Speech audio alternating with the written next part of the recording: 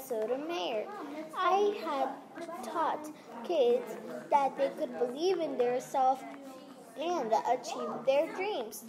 Yeah, she taught me that I could work hard to work on what I want. Like her, I want to be a judge. Yeah, so I had a great grand grandmother that she helped me with anything. She even took me to Puerto Rico. We live in Puerto Rico, but I came to New York to be a judge. Yeah, she showed me her whole stories. I even have a book of my beloved grandmother because she was the best. My father died because he drank too much. Oh, I feel sad. Do you want a cup of ice cream, Sonia? Oh, don't be silly.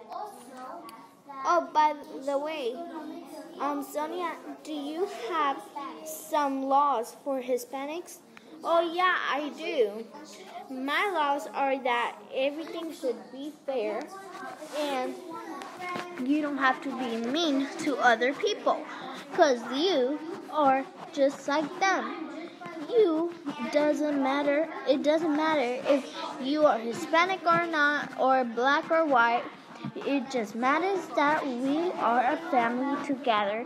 When you're in school, you're supposed to be a family. True. Thanks for showing me so much stuff. Sonia, I agree with you. Just like you're just like a president. Thank you so much. I love you so much, Sonia.